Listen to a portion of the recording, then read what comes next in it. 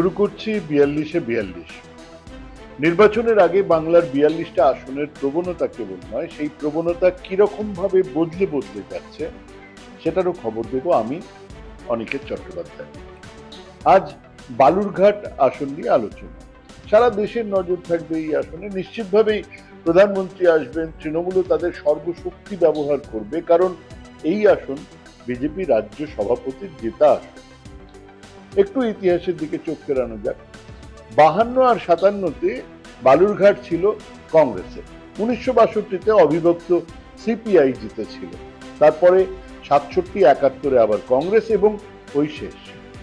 তারপর একটানা দশ বছর নির্বাচনে জিতেছিল রেভলিউশনারি সোশ্যালিস্ট পার্টি।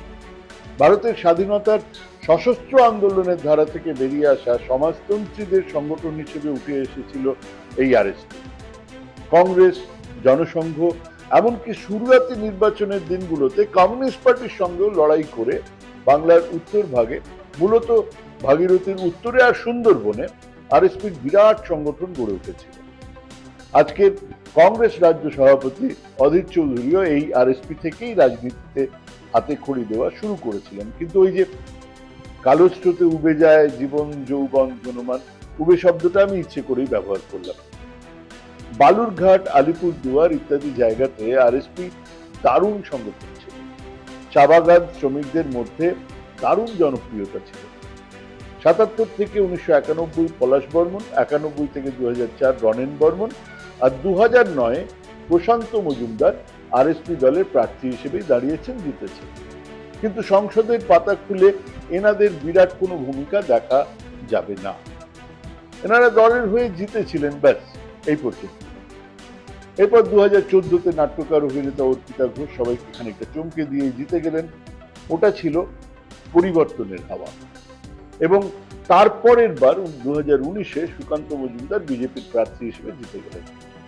সেবারে ওই আসনে তৃণমূলের ভেতরে সাবোটাজের কথা কিন্তু উঠেছিল। একবার দেখে নেওয়া যাক কীভাবে এই চালচিত্রের বদলটা হয়েছে। দু হাজার নয়তেই সারা রাজ্যে তৃণমূলের পক্ষে হাওয়া ছিল। সদ্য ইস্যু নন্দীগ্রাম সিঙ্গুর। সেবারে বিপ্লব মিত্র তৃণমূলের প্রার্থী, উল্টো দিকে প্রশান্ত মজুমদার, আরএসপির প্রার্থী। আরএসপি পেয়েছিল চুয়াল্লিশ দশমিক তিন আট শতাংশ ভোট, তৃণমূল পেয়েছিল তেতাল্লিশ দশমিক সাত নয় শতাংশ ভোট মানে প্রায় কান ঘেঁষে জয় চলে গিয়েছিল আর আরএসপি সেবারে বিজেপি পেয়েছিল মাত্র ছয় দশমিক আট দুই শতাংশ ভোট। দু হাজার চোদ্দতে কিন্তু ছবিটা একেবারে বদলে গেল। অর্পিতা ঘোষ তৃণমূলের প্রার্থী। তার ভোট প্রচুর কমল। পেলেন আটত্রিশ দশমিক পাঁচ তিন শতাংশ ভোট জিতলেন। আরএসপি পেল আঠাশ দশমিক চার সাত শতাংশ ভোট। মানে আগের বারের চেয়ে ষোলো শতাংশ ভোট কম এবং তার পুরোটাই চলে গেল বিজেপির দিকে।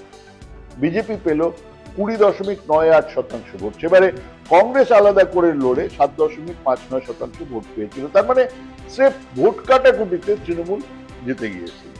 উনিশে আর আরএসপির ভোট বাইশ শতাংশ কমল, পেল ছয় শতাংশ ভোট, পঁচিশ শতাংশ ভোট বাড়ল বিজেপি পেলেন পঁয়তাল্লিশ শতাংশ ভোট, জিতলেন তিন দশমিক সাত এক শতাংশ ভোট বাড়িয়েও তৃণমূলের অর্পিতা ঘোষ পেলেন বিয়াল্লিশ দশমিক দুই চার শতাংশ ভোট, হেরে গেলেন। দু হাজার উনিশে কংগ্রেস আলাদা করে লড়ে তিন শতাংশ ভোট পেয়েছিলেন। মানে সুকান্ত বাবু জিতেছেন বটে, কিন্তু বিরাট একটা মার্জিন নিয়ে নয়। এবং এর মধ্যে বিধানসভার ভোট হয়েছে সেখানে খেলার রেজাল্ট চার তিন।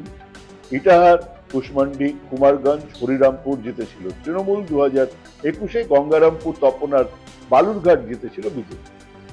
ভোট শতাংশের হিসেবে আটচল্লিশ দশমিক সাত শতাংশ তৃণমূল, একচল্লিশ দশমিক সাতাশ শতাংশ ছিল বিজেপি। মানে সাত শতাংশ কম বাম কংগ্রেসের সম্মিলিত ভোট ছিল সাত শতাংশ। এবারে বিপ্লব মিত্র তৃণমূলের তরফে যিনি হরিরামপুরের বিধায়ক, বিজেপির সুকান্ত মজুমদার বাম কংগ্রেসের সম্মিলিত প্রার্থী আর আরএসপির জয়দেব সিদ্ধান্ত। দু হাজার তেইশে পঞ্চায়েতের দক্ষিণ দিনাজপুরের একুশটা একুশটা জেলা পরিষদের তৃণমূল জিতেছে। আটটার আটটা পঞ্চায়েত সমিতির তৃণমূলের দখলে। আর চৌষট্টিটা গ্রাম পঞ্চায়েতের পঞ্চান্নটা তৃণমূলের দখলে। ভীষণ কুচুলে বেশ কয়েকটা আসন বলা বাহুল্য সেগুলো গেছে ওই তৃণমূলের উন্নয়ন জন্য। গোটা ছয় রয়েছে বিজেপির কাছে। আবার বলি অনেকেই বলবেন, এবং আমি একমত যে পঞ্চায়েতের ভোট জবরদস্তি হয়েছে, ভোট লুট হয়েছে। কিন্তু বারবার বলছি, এই পঞ্চায়েত সমিতি বা জেলা পরিষদের হাতে থাকে বিরাট মধুভাণ্ড। সেই মধুভাণ্ডের দখলদারি নির্বাচনে একটা বিরাট ভূমিকা নেয়। কাজেই সেখানেও তৃণমূল কিন্তু এগিয়ে।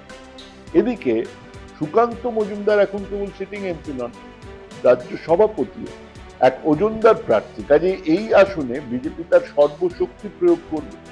দিল্লির নেতারা আসবেন, কোটি কোটি টাকা খরচ হবে।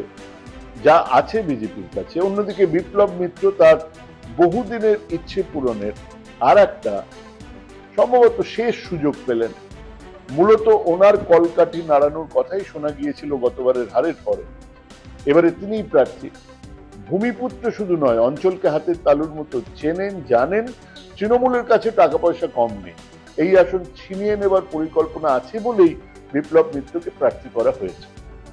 অন্যদিকে, বাম কংগ্রেসের প্রার্থী, ধারে ভারে জৌলসে টাকায় পয়সায় মিসম্যাচ বিপ্লব মিত্র জেতার জন্য নেমেছেন, সুকান্ত মজুমদার আসন ধরে রাখার জন্য নেমেছেন।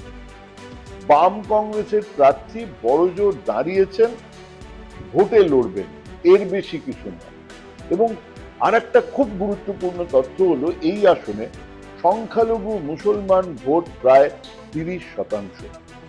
এই ভোট কিন্তু এবারে সব হিসেব বদলে দিতে পারে। বিশেষ করে সিএ বিরোধী প্রচার এই আসনে খুব নজর কাটছে এই আসন সুকান্ত মজুমদার না দাঁড়িয়ে অন্য কেউ দাঁড়ালে এক বাক্যে বলে দিতাম হারছে বিজেপি। কিন্তু বিজেপি প্রার্থী যেহেতু রাজ্য সভাপতি, তাই আপাতত হারছে বিজেপি কথাটা বলা যাচ্ছে না। কিন্তু লড়াই হাড্ডা হাড্ডাহাড্ডি। Fifty fifty. প্রচার আরও জমে উঠুক, আরও কিছু ইনপুটস আসুক, তারপর না হয় আবার এই আসন নিয়ে আবার ডেফিনেট করে কিছু বলা যাবে। আজ এখানেই শেষ করছি। নমস্কার।